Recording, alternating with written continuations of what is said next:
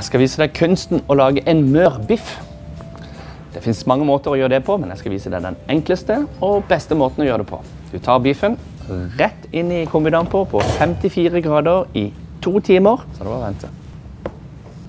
Ut av ovnen, tørke godt an, krydre, opp i en varm stekepanne med litt smør og godsaker. 30 sekunder på hver side.